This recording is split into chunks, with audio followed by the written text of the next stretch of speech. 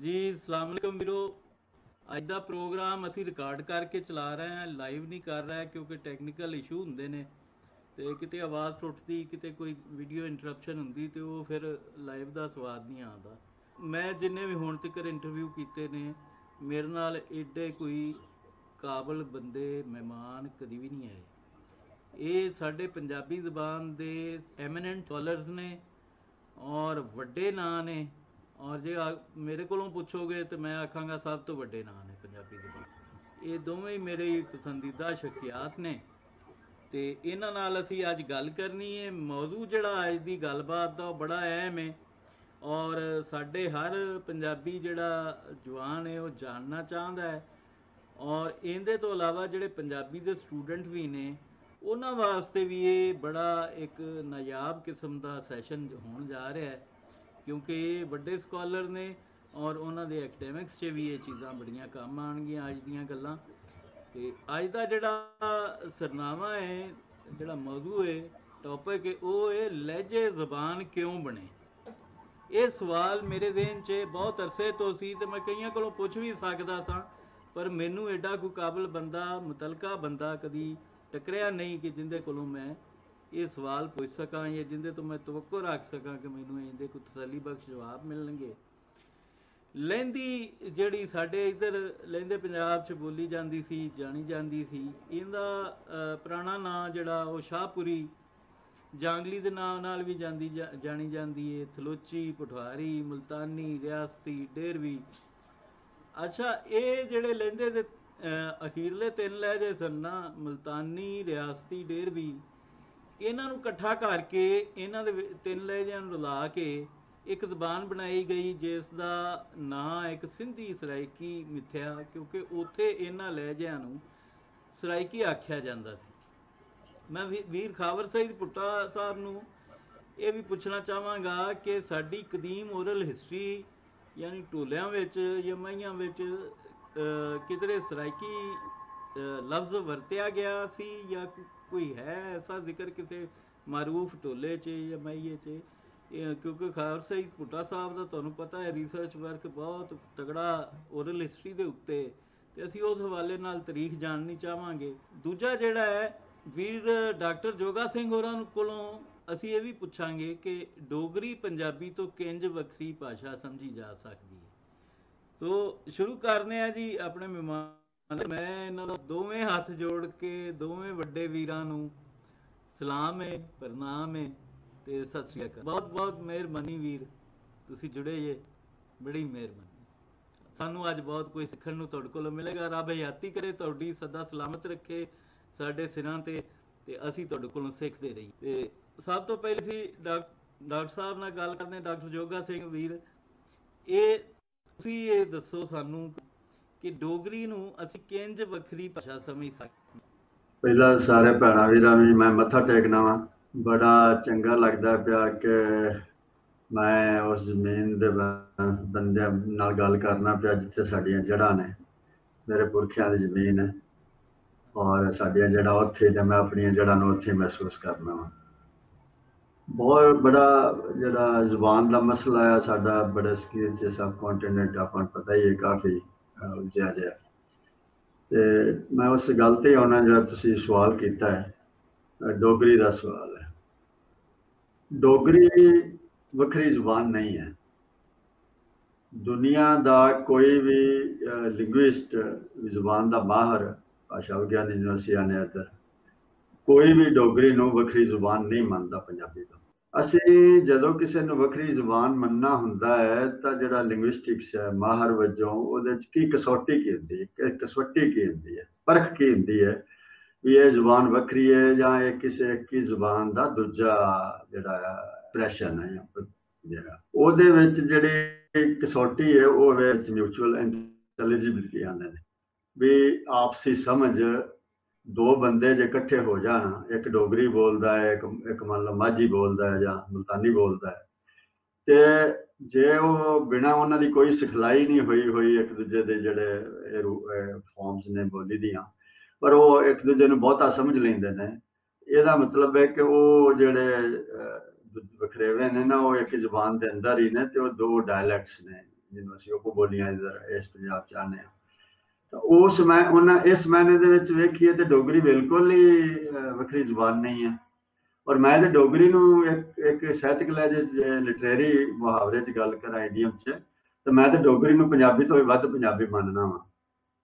ਉਹ ਕਿਵੇਂ ਵੀ ਜਿਹੜੀ ਪੰਜਾਬੀ ਦੀ ਪਛਾਣ ਹੈ, ਇਹ ਸਾਰੀ ਇੰਡੋ ਯੂਰੋਪੀਅਨ ਜਿੰਨੀ ਵੀ ਹੈ, ਔਰ ਉਹਦੇ ਚ ਇੰਡੋ ਆਰੀਅਨ ਹੈ ਆਪਣੀਆਂ ਪਾਕਿਸਤਾਨ ਦੀਆਂ ਜ਼ੁਬਾਨਾਂ ਨੇ, ਭਾਰਤ ਦੀਆਂ ਜ਼ੁਬਾਨਾਂ ਨੇ ਇੱਕੋ ਪੰਜਾਬੀ ਜ਼ੁਬਾਨ ਹੈ, ਜਿਹਦੇ ਵਿੱਚ ਅਸੀਂ ਇਹਨੇ ਜਿਹਨੂੰ ਇਹਨੇ ਟੋਨ, ਇੱਕ ਟੋਨ ਕੀ ਮਾਮਲਾ ਹੁੰਦਾ ਹੈ ਕਿ ਜਿਵੇਂ ਅਸੀਂ ਘੋੜਾ ਸ਼ਬਦ ਬੋਲਦੇ ਆ ਕੋੜਾ ਸ਼ਬਦ ਬੋਲਦੇ ਆ ਜਾਂ ਕੋੜਾ ਸ਼ਬਦ ਬੋਲਦੇ ਆ ਹਾਂਜੀ।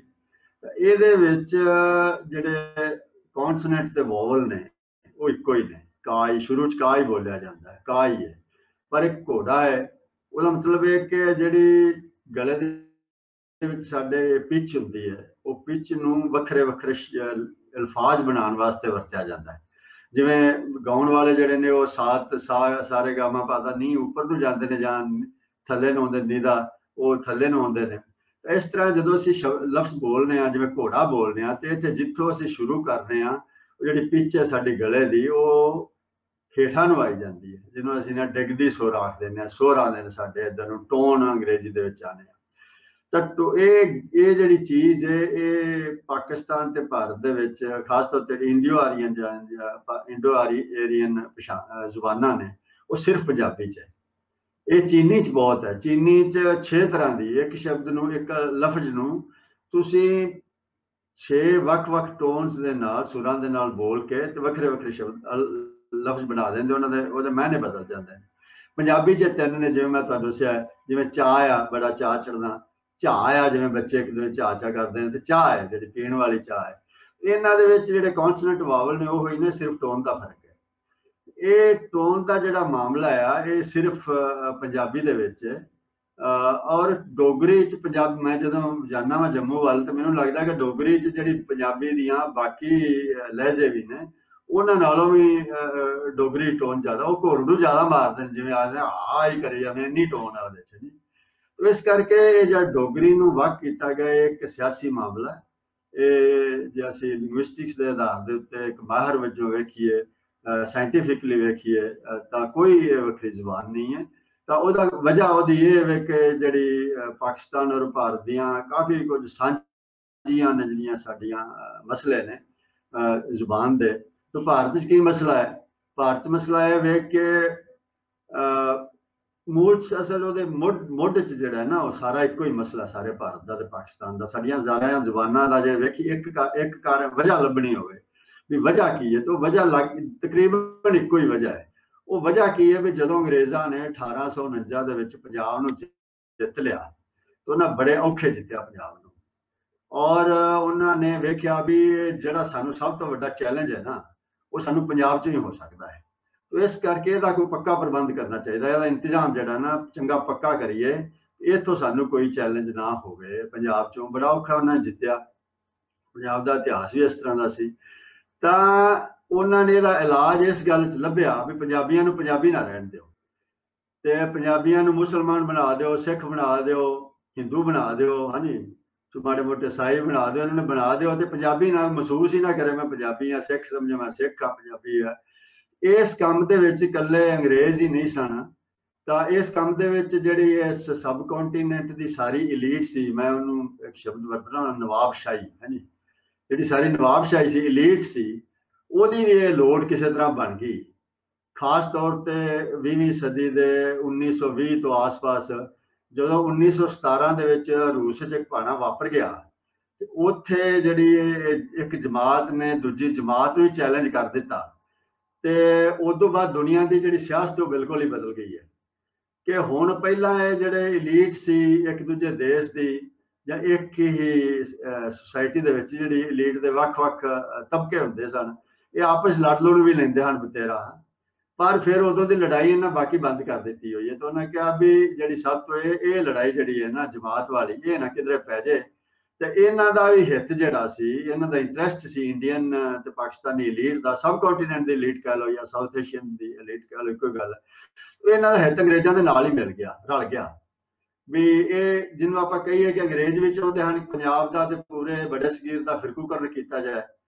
ਤੇ ਇਹ ਇਥੋਂ ਵਾਲੇ ਜਿਹੜੇ ਸਨ, ਉੱਪਰਲਾ ਸਾਡਾ ਤਬਕਾ ਸੀ, ਜਿਹਦੇ ਤਾਕਤਵਰ ਸੀ ਸੱਤਾ ਜਿਹਦੇ ਕੋਲ ਤਾਕਤ ਹੈ, ਉਹਦੀ ਵੀ ਹਿੱਤੇ ਹੋ ਗਿਆ ਕਿ ਇਹਦਾ ਫਿਰਕੂਕਰਨ ਕੀਤਾ ਜਾਏ। ਇਹ ਕੰਮ ਦੋਵਾਂ ਨੇ ਰਲ ਕੇ ਕੀਤਾ, ਹਾਂਜੀ।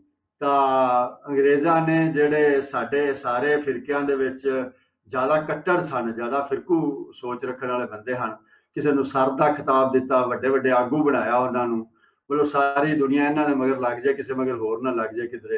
ਇਹ ਜਿਹੜਾ ਫਿਰਕੂਕਰਨ ਹੋਇਆ ਹੈ ਸਾਡੇ, ਸਾਡੀ ਸੁਸਾਇਟੀ ਦਾ ਚਾਹੇ ਪਾਕਿਸਤਾਨ ਭਾਰਤ ਦੀ ਕੋਈ ਹੈ ਤਾਂ ਉਹਦੇ ਵਿੱਚ ਜਿਹੜਾ ਜ਼ੁਬਾਨਾਂ ਦਾ ਵੀ ਇਸ ਤਰ੍ਹਾਂ ਕਰ ਦਿੱਤਾ ਗਿਆ ਵੀ ਪੰਜਾਬੀ ਤੇ ਸਿੱਖਾਂ ਦੀ ਜ਼ੁਬਾਨ ਹੈ ਤੇ ਮੁਸਲਮਾਨ ਤੇ ਪੱਕਾ ਤਾਂ ਬੰਦਾ ਜ਼ੁਬਾਨ ਨੂੰ ਉਰਦੂ ਲਿਖੇ ਤੇ ਉਰਦੂ ਬੋਲੇ, ਹਾਂਜੀ। ਤੇ ਮੈਂ ਕਿ ਯਾਰ ਇਹ ਹੱਸ ਕੇ ਆਣਾ ਹੁੰਨਾ ਵਾ ਭਰਾ ਪਾਕਿਸਤਾਨੀ ਵੀਰਾਂ ਭੈਣਾਂ ਨੂੰ, ਮੁਸਲਮਾਨ ਵੀਰਾਂ ਭੈਣਾਂ ਨੂੰ, ਵੀ ਪੱਕੇ ਪਾਕਿਸਤਾਨ, ਮੁਸਲਮਾਨ ਤੇ ਫਿਰ ਪਾਕਿਸਤਾਨ 'ਚ ਹੀ ਰਹਿ ਗਏ, ਬਾਕੀ ਤਾਂ ਸਾਰੇ ਸਾਊਦੀ ਅਰਬ ਵਾਲੇ ਵੀ ਕੱਚੇ ਨੇ ਈਰਾਨ ਵਾਲੇ ਵੀ ਕੱਚੇ ਨੇ, ਕਿਉਂਕਿ ਉਹ ਤੇ ਉਰਦੂ ਬੋਲਦੇ ਕੋਈ ਤੇ ਪੱਕੇ ਤੁਸੀਂ ਹੋ? ਤਾਂ ਇਹ ਐਸਾ ਜਿਹੜਾ ਦਿਮਾਗ ਦੇ ਉੱਤੇ ਜਿਹੜੀ ਫਿਰਕੂ ਸੋਚ ਹੈ ਔਰ ਉਹਦਾ ਮਤਲਬ ਇਹ ਵੀ ਅੰਗਰੇਜ਼ਾਂ ਨੂੰ ਹੋਰ ਵੀ ਇੱਕ ਗੱਲ ਲੱਗਦੀ ਸੀ, ਉਹਨਾਂ ਨੂੰ ਸਭ ਤੋਂ ਵੱਡਾ ਜਿਹੜਾ ਖਤਰਾ ਭਾਸਦਾ ਸੀ ਉਹ ਉਹਨਾਂ ਨੂੰ ਕੌਮੀ ਲਹਿਰਾਂ ਤੋਂ ਭਾਸਦਾ ਸੀ। ਕਿਉਂਕਿ 20ਵੀਂ ਸਦੀ ਦੇ ਸ਼ੁਰੂ ਦੇ ਵਿੱਚ 20th ਸੈਂਚਰੀ ਦੇ ਸ਼ੁਰੂ ਵਿੱਚ ਜਿਹੜੀ ਜਿਹੜੀ ਕੌਮੀ ਲਹਿਰਾਂ ਸਨ ਨੈਸ਼ਨੈਲਿਟੀ ਦੇ ਮੂਵਮੈਂਟ ਸਨ, ਉਹ ਕਾਫੀ ਤਗੜੇ ਸਾਰੀ ਦੁਨੀਆ ਦੇ ਉੱਤੇ ਹੁੰਦੇ ਹਨ ਪਏ ਕੌਮਾਂ ਆਜ਼ਾਦ ਪਈਆਂ ਹੁੰਦੀਆਂ ਸਨ। ਔਰ ਜਿਹੜੀ ਕੌਮ ਦੀ ਲਹਿਰ ਹੈ, ਇਹ ਬੜੀ ਡੂੰਘੀ ਹੁੰਦੀ ਹੈ ਔਰ ਬੜੀ ਤਾਕਤਵਰ ਹੁੰਦੀ ਹੈ। ਛੋਟੀਆਂ ਛੋਟੀਆਂ ਗਿਣਤੀ ਦੀਆਂ ਕੌਮੀਆਂ ਵੱਡਿਆਂ ਵੱਡਿਆਂ ਦੇ ਜਿਹੜੇ ਨਾ, ਉਹਨਾਂ ਨੂੰ ਵੀ ਜਿਹੜੇ ਨੇ ਮੂੰਹ ਮੋੜ ਦਿੰਦੀਆਂ ਨੇ। ਤੇ ਇਸ ਕਰਕੇ ਉਹ ਜਾਂਦੇ ਸੀ ਵੀ ਇਹ ਜਿਹੜੀ ਕੋਈ ਇਹ ਜਿਹੜਾ ਬੜੇ ਸਗੀਰ ਹੈ, ਜਿਹੜਾ ਸਬ ਕੰਟੀਨੈਂਟ ਇਹਦੇ ਵਿੱਚ ਕੌਮੀਅਤ ਦੀਆਂ ਲਹਿਰਾਂ ਜਿਹੜੀਆਂ ਨੇ, ਕੌਮੀਅਤ ਦੀ ਜਿਹੜੀ ਪਛਾਣ ਹੈ, ਪੰਜਾਬੀ ਪਛਾਣ ਹੈ, ਤਮਿਲ ਪਛਾਣ ਹੈ, ਰਾਜਸਥਾਨੀ ਪਛਾਣ ਹੈ, ਹਾਂਜੀ, ਜਾਂ ਹੋਰ ਜਿੰਨੀਆਂ ਵੀ ਹਨ ਸਾਡੀਆਂ ਜਿਹੜੀਆਂ ਨੇ, ਤੇਲਗੂ ਪਛਾਣ ਹੈ, ਬੰਗਾਲੀ ਪਛਾਣ ਹੈ, ਤਾਂ ਇਹ ਇਹ ਜਿਹੜੀਆਂ ਪਛਾਣਾਂ ਨੇ, ਇਹ ਲੋਕਾਂ ਦੇ ਦਿਮਾਗ 'ਚ ਨਾ ਕਿਧਰੇ ਆ ਜਾਣ ਤੇ ਉਹ ਲੋਕ ਜਿਹੜੇ ਨੇ, ਉਹ ਫਿਰਕੂ ਜਿਹੜੀ ਪਛਾਣ ਹੈ, ਉਹ ਉਹ ਉਹ ਉਹ ਭਾਰੂ ਹੋਵੇ ਉਹ ਇਹ ਸਾਰਾ ਕੰਮ ਉਹਨਾਂ ਅੰਗਰੇਜ਼ਾਂ ਨੇ ਕੀਤਾ ਔਰ ਨਾਲ ਸਾਡੀ ਜਿਹੜੀ ਇਹ ਸਬ ਕੰਟਰੀ ਲੀਡ ਸੀ, ਇਹ ਵੀ ਉਹਨਾਂ ਦੇ ਨਾਲ ਰਲ ਗਈ। ਔਰ ਉਹਦੀ ਸਜ਼ਾ ਅਸੀਂ ਹਾਲੇ ਤੱਕ ਭੁਗਤ ਰਹੇ ਹਾਂ ਕਿ ਅਸੀਂ ਜ਼ੁਬਾਨ ਬਾਰੇ ਆਪਣੀ ਸਮਝ ਨੂੰ ਠੀਕ ਨਹੀਂ ਕਰ ਪਾ ਰਹੇ। ਔਰ ਇਹਦੇ ਹੀ ਵਜ੍ਹਾ ਸੀ ਜਿਹੜਾ ਫਿਰਕੂਕਰਨ ਹੋਇਆ, ਡੋਗਰੀ ਵੀ ਵੱਖ ਹੋ ਗਈ। ਅਕਾਲੀ ਸਾਡੇ ਭਰਾ ਸਨ ਜਾਂ ਸਿੱਖ ਜਿਹੜੇ ਆਗੂ ਸਨ ਪੰਜਾਬ ਦੇ, ਉਹ ਉਹ ਚਾਹੁੰਦੇ ਸਨ ਕਿ ਪੰਜਾਬ ਛੋਟਾ ਜਿਹਾ ਇਹੋ ਜਿਹਾ ਬਣ ਜਾਏ ਜਿੱਥੇ ਸਾਡੀ ਮੈਜੋਰਟੀ ਹੋਵੇ ਸਿੱਖਾਂ ਦੀ, ਤਾਂ ਕਿ ਸਾਡੀ ਸਰਕਾਰ ਬਣ ਜਾਏ। ਤੋ ਜੇ ਜੰਮੂ ਵਾਲੇ ਡੋਗਰੇ ਭਰਾ ਸਾਰੇ ਨਾਲ ਪੰਜਾਬ 'ਚ ਰਹਿੰਦੇ ਸਨ ਇਹ ਫਿਰ ਜਿਹੜਾ ਇਸ ਤਰ੍ਹਾਂ ਸਿੱਖੀ ਵਾਲੇ ਵੋਟਾਂ ਦਾ, ਸਿੱਖ ਹਿੰਦੂ ਦੇ ਵੋਟ ਬਣਾ ਕੇ ਤੇ ਸੀ ਇਹਨਾਂ ਦੀ ਆਪਣੀ ਸਰਕਾਰ ਬਣਨੀ ਔਖੀ ਸੀ। ਤੋ ਇਹ ਆਖਣ ਨੂੰ ਤੇ ਆਂਦੇ ਸਨ, ਪੰਜਾਬ ਲੈਣਾ ਪੰਜਾਬ ਲੈਣਾ ਹੈ। ਪਰ ਅੰਦਰ ਖਾਤੇ ਇਹਨਾਂ ਨੂੰ ਇਹ ਸੀ ਪੰਜਾਬ ਮਿਲ ਤੇ ਜਾਏ, ਹਿਮਾਚਲ ਦੇ ਵੀ ਨਿਕਲ ਜਾਣ ਵਿੱਚੋਂ ਤੇ ਜੰਮੂ ਸ਼ੰਮੂ ਉਹ ਸਾਰਾ ਪਹਾੜੀ ਜਿਹੜੀਆਂ ਆਪਣੀਆਂ ਜ਼ੁਬਾਨਾਂ, ਪੰਜਾਬੀ ਜ਼ੁਬਾਨ ਦੇ ਵੱਖ ਵਖਰੇਵੇਂ ਨੇ ਵੱਖ-ਵੱਖ ਲਹਿਜੇ ਨੇ, ਉਹ ਨਿਕਲ ਜਾਣ। ਪੰਜਾਬੀ ਤੋਂ ਬਾਹਰ ਨਿਕਲ ਜਾਣ ਤੇ ਛੋਟਾ ਜਿਹਾ ਪੰਜਾਬ ਬਣ ਜਾਏ, ਜਿਸ ਸਿੱਖ ਸਿੱਖ ਮੈਜੋਰਟੀ ਹੋਵੇ, ਸਾਡੀ ਸਰਕਾਰ ਬਣ ਜਾਏ। ਇਸ ਤਰ੍ਹਾਂ ਡੋਗਰੀ ਵੱਖ ਹੋਈ। ਔਰ ਇਹ ਹੁਣ ਤੁਸੀਂ ਵੇਖੋ ਕਿ ਡੋਗਰੀ ਵੱਖ ਕੀਤੀ ਹੈ ਰਾਜਸਥਾਨੀ ਹਿੰਦੀ ਦੀ, ਕਹਿੰਦੇ ਹਿੰਦੀ ਦਾ ਲਹਿਜਾ ਹੈ।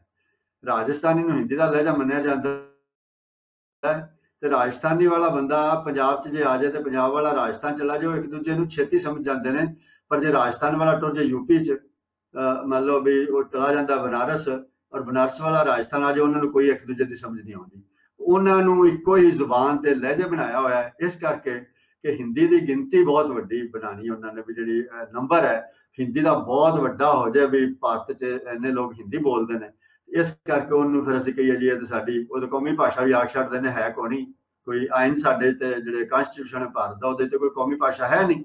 ਉਹਦੇ ਚ ਹਿੰਦੀ ਤੇ ਅੰਗਰੇਜ਼ੀ ਜਿਹੜੀਆਂ ਅਫੀਸ਼ੀਅਲ ਲੈਂਗੁਏਜ ਨੇ ਜਿਨ੍ਹਾਂ ਨੂੰ ਅਸੀਂ ਰਾਜ ਭਾਸ਼ਾਵਾਂ, ਕੰਮਕਾਜ ਦੀਆਂ, ਸਰਕਾਰੀ ਭਾਸ਼ਾਵਾਂ, ਕੰਮਕਾਜ ਦੀਆਂ, ਕੇਂਦਰ ਜਿਹੜੀ ਸਾਡੀ ਯੂਨੀਅਨ ਗਵਰਨਮੈਂਟ ਉਹਦੇ ਕੰਮਕਾਜ ਦੀਆਂ ਭਾਸ਼ਾਵਾਂ ਨੇ। ਤੋਂ ਵੱਡੀ ਗਿਣਤੀ ਹਿੰਦੀ ਦੀ ਕਰਨ ਵਾਸਤੇ ਬਹੁਤ ਸਾਰੀਆਂ ਜਿਹੜੇ ਲਹਿਜੇ ਨੇ, ਜਿਹੜੀਆਂ ਜਿਨ੍ਹਾਂ ਨੂੰ ਲਹਿਜੇ ਆਖ ਛੱਡਿਆ, ਜਿਹੜੀਆਂ ਵੱਖਰੀਆਂ ਜ਼ੁਬਾਨਾਂ ਨੇ, ਸਾਰੀ ਦੁਨੀਆ ਦੇ ਜਿਹੜੇ ਮਾਰ ਨੇ ਜ਼ੁਬਾਨ ਦੇ ਉਹ ਆਂਦੇ ਨੇ ਵੀ ਵੱਖਰੀਆਂ ਜ਼ੁਬਾਨਾਂ ਨੇ, ਪਰ ਇਹ ਸਿਆਸਤ ਕਰਕੇ ਸਾਰਾ ਕੁਝ ਹੋਇਆ ਔਰ ਉਹ ਹਾਲੇ ਤੱਕ ਅਸੀਂ ਭੁਗਤ ਰਹੇ ਹਾਂ। ਹਾਲੀ ਜਿਹੜੀ ਹੈ ਜਿਵੇਂ ਹੁਣ 1.5 ਕਰੋੜ ਮੇਰੇ, ਜਿੱਥੋਂ ਤੱਕ ਮੈਨੂੰ ਪਤਾ ਹੈ ਕਿ 1.5 ਕਰੋੜ ਪਾਕਿਸਤਾਨ ਦੇ ਵਿੱਚ ਸੱਜਣ ਨੇ ਜਿਹੜੇ ਆਂਦੇ ਨੇ ਸਾਡੀ ਮਾਂ ਬੋਲੀ ਉਰਦੂ ਹੈ ਹਾਂਜੀ ਤੇ ਪਾਕਿਸਤਾਨ ਨੇ ਮਾਂ ਜਿਹੜੀ ਹੈ, ਉਰਦੂ ਨੂੰ ਜਿਹੜਾ ਕੌਮੀ ਭਾਸ਼ਾ ਬਣਾਇਆ ਹੋਇਆ ਹੈ ਨੈਸ਼ਨਲ ਲੈਂਗੁਏਜ ਬਣਾਇਆ ਹੋਇਆ ਉਹ ਉਹ ਕਹਿੰਦਾ 1.5 ਕਰੋੜ ਸਿਰਫ, ਕਹਿੰਦਾ ਮੇਰੀ ਉਹ ਹੈ, ਉਹਨਾਂ ਦੀ ਵੀ ਕੋਣੀ ਉਹ ਵੀ ਚਲੋ ਜਿਹੜੇ ਭਰਾ ਇਧਰੋਂ ਯੂਪੀ ਚੋਂ ਗਏ ਨੇ, ਕਰਾਚੀ ਕਰੂਚੀ ਬੈਠੇ ਨੇ, ਉਹਨਾਂ ਦੀ ਮੰਨ ਸਕਨੇ ਆ ਕਿ ਉਹਨਾਂ ਦੀ ਮਾਂ ਬੋਲੀ ਉਰਦੂ ਹੈ, ਉਹ ਹਿੰਦੀ ਉਰਦੂ ਜੋ ਮਰਜ਼ੀ ਉਹਨੂੰ ਆਖ ਲੋ ਉਹਦੀ। ਤਾਂ ਇਹ ਸਾਰੀ ਸਿਆਸਤ ਦੇ ਕਰਕੇ ਅਸੀਂ ਇਹ ਭੁਗਤ ਰਹੇ ਹਾਂ। ਔਰ ਇਹ ਸਿਆਸਤ ਜਿਹੜੀ ਜਿਹੜੇ ਨੇ ਉਹਨੂੰ ਫਿਰਕੂ ਕਰਨ ਜਿਹੜਾ ਸਾਡਾ ਕੀਤਾ ਗਿਆ ਜਿੰਨਾ ਚਿਰ ਅਸੀਂ ਇਹਦੇ ਚੋਂ ਨਿਕਲਦੇ ਨਹੀਂ ਔਰ ਅਸੀਂ ਆਪਣੀ ਕੌਮੀ ਪਛਾਣਾ ਜਿਹੜੀਆਂ ਨੇ ਉਹਨਾਂ ਨੂੰ ਆਪਣੇ ਮਨਾਂ 'ਚ ਵਸਾਉਂਦੇ ਨਹੀਂ ਤਾਂ ਅਸੀਂ ਮੈਂ ਤੇ ਬੜਾ ਥੋੜਾ ਜਿਹਾ ਗੁੱਸੇ 'ਚ ਆ ਗਿਆ ਨਾ ਵੀ ਗਲੇ ਸਾਡੇ ਦੇ ਮੁਲਕ ਰਵਾਂਗੇ ਕਿਉਂਕਿ ਅਸੀਂ ਜਿਹੜੀ ਸਾਡੀ ਹਕੀਕਤ ਹੈ ਉਹਨੂੰ ਜੇ ਅਸੀਂ تسلیم ਹੀ ਨਹੀਂ ਕਰਦੇ ਤਾਂ ਫਿਰ ਅਸੀਂ ਉਹਦੇ ਉੱਤੇ ਆਪਣੀ ਕੋਈ ਉਸਾਰ ਹੀ ਨਹੀਂ ਸਕਦੇ ਚੰਗਾ ਅਸੀਂ ਆਪਣੀ ਪੋਲਿਟਿਕਸ ਨਹੀਂ ਚੰਗੀ ਉਸਾਰ ਸਕਾਂਗੇ ਅਸੀਂ ਡਿਵੈਲਪਮੈਂਟ ਨਹੀਂ ਕਰ ਸਕਾਂਗੇ ਆਪਣੇ ਜਿਹੜੇ ਸਾਡੇ ਸੋਸ਼ਲ ਮਸਾਇਲ ਨੇ ਮਸਲੇ ਨੇ ਉਹਨਾਂ ਦੇ ਅਸੀਂ ਹੱਲ ਉਹਨਾਂ ਦੇ ਕੋਈ ਠੀਕ ਤਰੀਕੇ ਨਹੀਂ ਢੰਗ ਤਰੀਕੇ ਨਹੀਂ ਲੱਭ ਸਕਾਂਗੇ ਉਹਨਾਂ ਨੂੰ ਠੀਕ ਕਰਨ ਦਾ ਤੇ ਜਦੋਂ ਅਸੀਂ ਹਕੀਕਤ ਨੂੰ تسلیم ਹੀ ਨਹੀਂ ਕਰਦੇ ਕਿ ਅਸੀਂ ਕੀ ਹਾਂ ਤਾਂ ਉਹਨਾਂ ਚਿਰ ਅਸੀਂ ਕੀ ਆਪਣਾ ਕੁਝ ਆਪਣਾ ਜਿਹੜਾ ਕੱਲ ਭਲਕ ਜਿਹੜਾ ਕੀ ਬਣਾ ਸਕਦੇ ਸਮਝਣਾ ਵਾ ਕਿ ਸਾਡੇ ਉਹਦੇ ਵਿੱਚੋਂ ਪੈਦਾ ਹੁੰਦੇ ਨੇ ਤੇ ਜਿੰਨਾ ਚਿਰ ਇਹ ਉਹ ਦੂਜੀ ਗੱਲ ਇਹ ਵੇ ਕਿ ਇਹ ਮਾਮਲਾ ਥੋੜਾ ਤਕਨੀਕੀ ਪੱਖੋਂ ਹੀ ਮੈਨੂੰ ਇੱਕ ਗੱਲ ਕਰਨੀ ਚਾਹਾਂਗਾ ਇਹਦੇ ਨਾਲ ਸਾਨੂੰ ਇਹਨੂੰ ਸਾਨੂੰ ਲਾਭ ਕੀ ਫਾਇਦਾ ਸਾਨੂੰ ਕੀ ਹੋਇਆ ਫਾਇਦਾ ਸਾਨੂੰ ਇਹਦੇ ਨਾਲ ਇਹ ਹੋਇਆ ਕਿ ਅਸੀਂ ਬਹੁਤ ਹੀ ਪਛੜੇ ਹੋਏ ਮੁਲਕ ਆ, ਹਰ ਤਰ੍ਹਾਂ ਨਾਲ, ਸਮਾਜੀ ਤੌਰ ਤੇ ਵੀ, ਸੋਸ਼ਲ ਤੌਰ ਤੇ ਵੀ ਤੇ ਅਸੀਂ ਇਕਨੋਮਿਕ ਤੌਰ ਤੇ ਵੀ ਪੋਲੀਟੀਕਲ ਹਰ ਤਰ੍ਹਾਂ ਨਾਲ ਪਛੜੇ ਮੁਲਕ ਆ। ਕਿਉਂਕਿ ਅਸੀਂ ਮੰਨ ਲਓ ਵੀ ਹੁਣ ਤੁਹਾਡੇ ਆਪਣੇ ਪਾਕਿਸਤਾਨ ਦੇ ਵਿੱਚ ਜਿਹੜਾ ਉਰਦੂ ਚ ਪੜਾਇਆ ਜਾਂਦਾ ਹੈ ਨਿਆਣਿਆਂ ਨੂੰ ਸਕੂਲਾਂ ਦੇ ਵਿੱਚ, ਉਹਨਾਂ ਨੂੰ ਸਮਝ ਤੇ ਆਉਂਦਾ ਨਹੀਂ ਕੁਝ ਇੱਥੇ ਸਾਡੇ ਰਾਜਸਥਾਨ ਵਾਲਿਆਂ ਨੂੰ ਹਿੰਦੀ ਚ ਪੜਾਉਂਦੇ ਨੇ, ਉਹਨਾਂ ਨੂੰ ਕੁਝ ਵੀ ਸਮਝ ਨਹੀਂ ਆਉਂਦਾ। ਜੇ ਨਿਆਣੇ ਨੂੰ ਸਮਝ ਹੀ ਕੁਝ ਨਹੀਂ ਆਉਂਦਾ, ਤੇ ਅੱਜ ਦੇ ਜ਼ਮਾਨੇ ਦੇ ਵਿੱਚ ਪੜ੍ਹਾਈ ਜਿਸ ਦੇ ਜਿਸ ਦੀ ਪੜ੍ਹਾਈ ਕਾਮਯਾਬ ਨਹੀਂ, ਉਹ ਕਿਧਰੇ ਨਹੀਂ ਪੜ ਸਕਦਾ। ਉਹ ਉਹ ਸਿਰਫ, ਉਹ ਵੀਜ਼ੇ ਲੈ ਕੇ ਭੱਜ ਸਕਦਾ ਕੈਨੇਡਾ ਨੂੰ, ਉਹਨਾਂ ਦਾ ਉੱਥੇ ਸਾਫ਼ ਸੁਫ ਕਰਨ ਵਾਸਤੇ, ਸਫ਼ਾਈ ਕਰਨ ਵਾਸਤੇ। ਤੇ ਇਸ ਕਰਕੇ ਜਿਹੜਾ ਜ਼ੁਬਾਨਾਂ ਨੂੰ ਅਸੀਂ ਥਾਂ ਨਹੀਂ ਦਿੱਤੀ ਆਪਣੀਆਂ ਮਾਂ ਬੋਲੀਆਂ ਨੂੰ, ਉਹਦੇ ਨਾਲ ਸਾਡੀ ਡਿਵੈਲਪਮੈਂਟ ਜਿਹੜੀ ਹੈ ਨਾ, ਜਿਹੜੀ ਜਿਹਨੂੰ, ਜਿਹਦਾ ਬੜਾ ਅੱਜਕੱਲ ਲੋਕਾਂ ਨੂੰ ਬਹੁਤ ਨਾਂ ਲੈਂਦੇ ਨੇ ਵੀ ਡਿਵੈਲਪਮੈਂਟ ਰੇਟ ਆਫ ਡਿਵੈਲਪਮੈਂਟ ਹੈ ਜੀ, ਵਿਕਾਸ ਦਰ ਸਾਡੇ ਨਾਲ, ਤਰੱਕੀ ਦੀ ਰਫ਼ਤਾਰ ਜਿਹੜੀ ਹੈ। ਉਹ ਤਰੱਕੀ ਦੀ ਰਫ਼ਤਾਰ ਵੀ ਨਹੀਂ ਬਣ ਸਕਦੀ, ਜਿੰਨਾ ਚਿਰ ਤੁਹਾਡੇ ਜਿਹੜੇ ਤੁਹਾਡੇ ਸਿਟੀਜ਼ਨ ਨੇ, ਸ਼ਹਿਰੀ ਨੇ ਤੁਹਾਡੇ ਉਹ ਚੰਗੇ ਪੜ੍ਹੇ ਲਿਖੇ ਨਹੀਂ ਹਨ, ਉਹਨਾਂ ਦੀ ਤਕਨੀਕੀ, ਉਹਨਾਂ ਦੀ ਸਾਇੰਟੀਫਿਕ ਉਹਨਾਂ ਦੀ ਸਾਰੀ ਮੁਹਾਰਤ ਚੰਗੀ ਨਹੀਂ। ਉਹਨਾਂ ਚਿਰ ਤੁਸੀਂ ਦੇਸ਼ ਨੂੰ ਕਿਵੇਂ ਅੱਗੇ ਲੈ ਜਾਓਗੇ? ਔਰ ਉਹ ਮੁਹਾਰਤ ਜਿਹੜੀ ਹੈ ਚੰਗੀ ਹੋ ਹੀ ਨਹੀਂ ਸਕਦੀ, ਜਿੰਨਾ ਚਿਰ ਤੁਸੀਂ ਆਪਣੀਆਂ ਜ਼ੁਬਾਨਾਂ ਦੇ ਵਿੱਚ ਉਹਨਾਂ ਨੂੰ ਵਿਦਿਆ ਨਹੀਂ ਦਿੰਦੇ, ਉਹਨਾਂ ਨੂੰ ਐਜੂਕੇਸ਼ਨ ਨਹੀਂ ਦਿੰਦੇ। ਔਰ ਤੁਹਾਡਾ ਕੰਮਕਾਰ ਨਹੀਂ ਹੋ ਸਕਦਾ, ਦਫ਼ਤਰ ਜਾ ਕੇ ਉਰਦੂ ਚੱਲਦਾ ਪੰਜਾਬੀ ਵਾਲਾ, ਉਹ ਵਿਚਾਰਿਆਂ ਨੂੰ ਉਹ ਉਸ ਤਰ੍ਹਾਂ ਦੀ ਉਰਦੂ ਹੈ, ਜੇ ਪਰ ਕਿਤਾਬੀ ਉਰਦੂ ਹੋ ਗਈ, ਤੇ ਉਹ ਪੰਜਾਬ ਵਾਲੇ ਤੇ ਕਿਸੇ ਪਾਕਿਸਤਾਨ ਨੂੰ ਵਾਲੇ ਤੇ ਪਤਾ ਨਹੀਂ ਲੱਗਣਾ ਬੋਲਦੇ ਕੀ ਨੇ, ਕੰਮ ਹੀ ਨਹੀਂ ਹੁੰਦਾ, ਇੱਥੇ ਸਾਡੇ ਇਹ ਯੱਬ ਰਹਿੰਦਾ। ਕੋ ਹਿੰਦੀ ਜਿਹੜੀ ਹੁੰਦੀ ਹੈ, ਦਫ਼ਤਰਾਂ ਦੇ ਵਿੱਚ ਉਹ ਨਾ ਹਿੰਦੀ ਵਾਲਿਆਂ ਨੂੰ ਵੀ ਨਹੀਂ ਹੁੰਦੀ, ਪੰਜਾਬ ਵਾਲਿਆਂ ਨੂੰ ਸਮਝ ਕੇ ਆਉਂਦੀ ਸੀ। ਤੇ ਇਸ ਕਰਕੇ ਇਹ ਮਾਮਲੇ ਜਿਹੜੇ ਨੇ ਜ਼ੁਬਾਨ ਤੇ ਜਿੰਨਾ ਚਿਰ ਅਸੀਂ ਆਪਣੇ ਇਹਨਾਂ ਦਾ ਮਸਲਿਆਂ ਦਾ ਹੱਲ ਨਹੀਂ ਕਰਦੇ, ਇਹਨਾਂ ਨੂੰ ਠੀਕ ਠਾਕ ਨਾਲ ਨਜਿੱਠਦੇ ਨਹੀਂ, ਜਿਵੇਂ ਦੁਨੀਆ ਨੇ ਨਜਿੱਠਿਆ ਔਰ ਜਿਵੇਂ ਕਾਮਯਾਬ ਦੇਸ਼ ਕਰ ਰਹੇ ਨੇ, ਜੇ ਅਸੀਂ ਮੈਂ ਨਾ ਵੀ ਨਕਲ ਕਰਨੀ ਮਾਰਨੀ ਮਾੜੀ ਹੁੰਦੀ ਹੈ, ਨਕਲ ਕਰਨੀ ਚੰਗੀ ਹੁੰਦੀ ਕਾਮਯਾਬ ਦੀ ਨਕਲ ਕਰੋ।